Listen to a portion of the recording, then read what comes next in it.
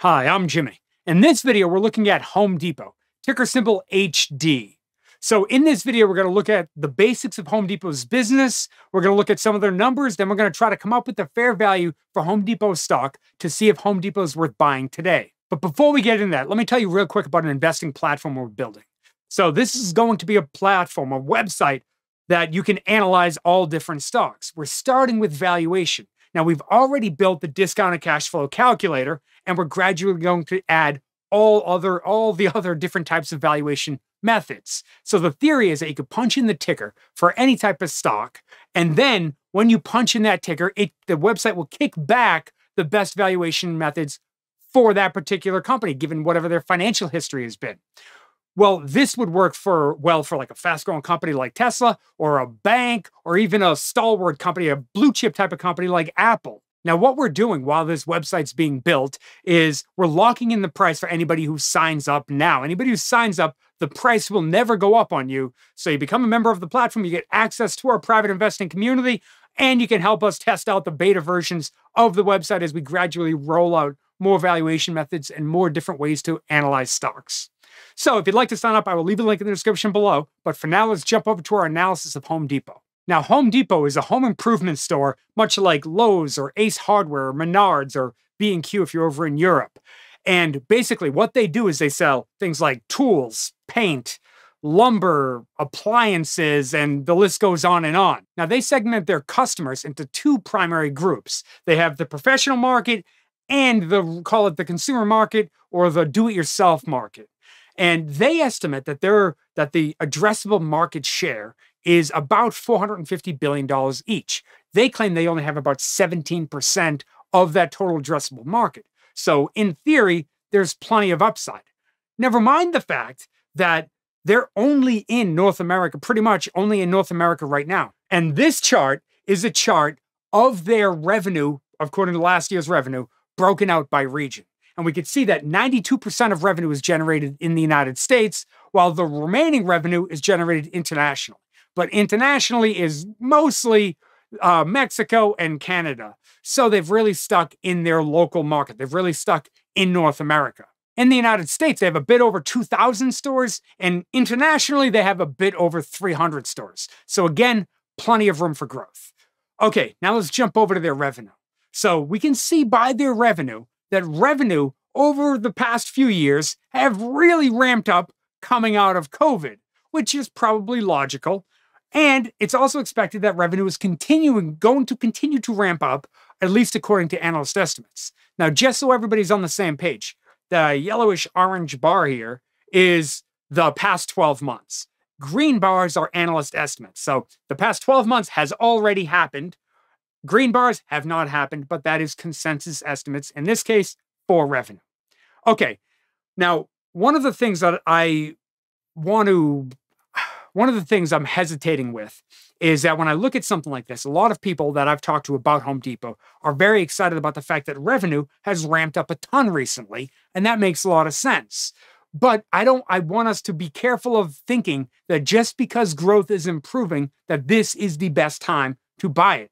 It might be, but we really got to get to the valuation side, which we're going to jump over to the website in a minute, take a peek at their valuation. But just to illustrate this point, if we were to look back at 2006, and if we were to jump in, if we had bought that stock back then, well, on our on average, the average return on an annual basis from then, if we bought at the end of 2006 all the way through today, when revenue was ramping up at its most at that time, our average return would be just 16%. Now, of course, just 16%. 16% is a great return considering the stock market on average has returned over the past like 100 years, 50 years like 10% a year. So 16% is good. But if we bought this after the revenue started declining, and instead we bought at the bottom here, well, our returns would have instead been closer to about 22% per year. So my point is that don't necessarily get caught up. I'm, I'm hoping people don't get caught up in the fact that, oh, revenue's ramping up, therefore I got to jump in and buy this thing now. We can, but only if the price is good. Likely the market's been beaten down recently, so it's very possible this is a good one. Okay, for now, let's clean this up a bit, and then we're going to jump in and try to understand better why this jump recently is happening. What is going on with revenue to call, or what is going on with, call it the broader economy to make this happen? Well, one of the first things that has happened is inflation has really ramped up. Higher inflation, you're going to naturally get higher prices. Revenue is not adjusted for inflation. So that that makes sense that that's going to add at least some to their growth. Second, they actually have more people coming into the stores. They have a higher customer count than they previously had. Plus, those customers are on average spending more money every time that they visit the store. The average ticket per customer is also going up. And then finally, right now, for anybody who hasn't been paying attention to the housing market, well, home repairs is really in a hot market right now. So that alone is going to increase companies like Home Depot or all their competitors. It's going to increase their revenue a decent amount. Now, just to illustrate some of these, to prove some of the points here, let's jump over to how we can prove that more customers, more revenue per customer is actually happening. So in Home Depot's annual reports, they have all the data for this chart. And we can see that in the most recent quarter, the average ticket for per customer is about $90 per customer. That's up from a below 60 just a few years ago. So overall, this trend is really helping Home Depot's overall business. Another important point that I think uh, addresses how hot the market is right now is this chart right here of this is the average mortgage rate for 30 year fixed mortgages. And we can see that in recent in the past year, especially recent months, mortgage rates are up above 6% right now.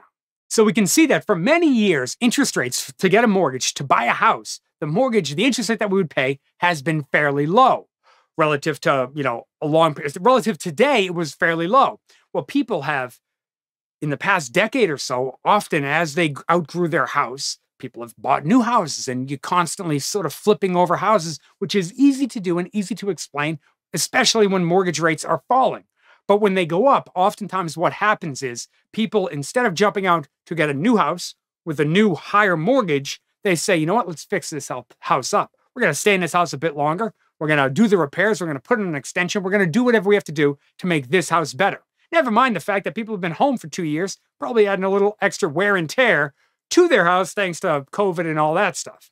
So that helps explain, at least partially, the hotter housing market, not the housing house, hotter housing market, but the hotter home repairs market, which brings us back to their revenue, which helps explain that why in this recent time period, revenue has jumped up and is expected to stay there for at least a couple more years. Okay, now before we jump out of valuation, let's take a quick look at their free cash flow, because this is an important component to this. So we can see that free cash flow over the past couple years has actually declined. Don't forget, the orange bar here, eh, or the yellowish orange bar, I'm not sure what color that is, but the yellowish orange bar there is the past 12 months. Free cash flow has dropped a decent amount, but analysts are expecting for free cash flow to start moving higher. Now, we might ask, why is free cash flow dropping? We saw revenues going higher. Why is free cash flow dropping? And the answer is actually an unusual one relative to most situations, and that is that inventories are actually going up. This is a chart of inventories. If you're looking for inventories, by the way, you can find the current level of inventories on their balance sheet. Go back a few, the past few years, you can make a chart just like this. But we can see that right now, inventories are relative to their own history fairly high. They're very, very high relative to their own history.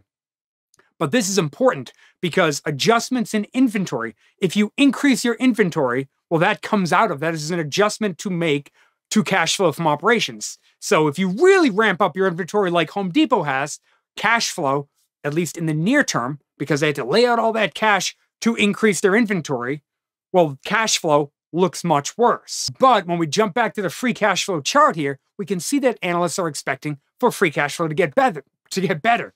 But this is logical if you think about it, because when it was declining, they spent all their money on adding inventory. You know what they don't have to buy right now? Inventory. They already have it in place. Plus, they're also adding new uh, some new distribution facilities and things like that to make their business a bit more efficient. So that has added to sort of the operational efficiency of the overall organization. So, from a structural business perspective, it seems like Home Depot's in a pretty good position. Now, if you're curious to learn more about how inventories work, I actually did a video just recently on inventories and the ramp up. Target actually increased their inventories a ton as well. A lot of companies are. If you're curious how that could affect their financial statements, the ratios, things like that, did a video on that recently. I'll put a link to that video in the description below. But for now, let's jump over to our fair value calculation of Home Depot stock. So we can see Home Depot stock is trading at about $275 per share. The fair value for the stock before debt in cash, if we don't include debt in cash, well, we get a fair value of about $288 per share. Now, if you want to take out there about $44 per share in net debt, which is uh, debt per share, which is debt minus cash, if you want to remove that, well, we end up with a fair value of about $244 per share. Now, I was curious, so I went ahead and looked up, I did the math for what is Home Depot's weighted average cost of capital. And their weighted average cost of capital is actually about 8.1%. Now, I'm using 9% as required rate of return, which is where these fair values come from. But if we want to use their weighted average, their own weighted average cost of capital of 8.1%, well, we can see suddenly the stock at the current price, where the stock is falling a decent amount, well, the stock looks like it could be undervalued, getting a fair value of about $290 per share. So for me, what I'm doing with Home Depot stock is I'm actually keeping Home Depot stock in my bullpen. I've had it in my bullpen for a while. Now, although the company at an 8.1% required rate of return, their own cost of capital, looks like it's a good deal, I'd prefer to stick with my 9% cost of capital just because it's sort of me. I have these rules that I created. and I'm trying to stick by them and sort of let that guide me through the world of investing. Now, if you'd like to learn about the process that I use to analyze stocks, I actually did a video where I go through the eight steps I use to analyze a stock. If you'd like to, I'll leave a link right here. I got a link in the description below. And thank you so much for sticking with me all the way to the end of the video. I really do appreciate it. Thank you, and I'll see you in the next video.